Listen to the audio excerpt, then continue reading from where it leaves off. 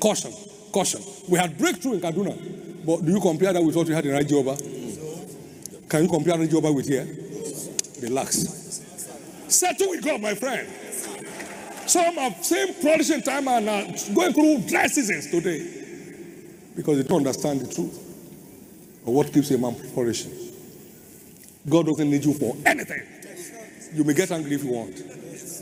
You need him for everything. I need him for everything.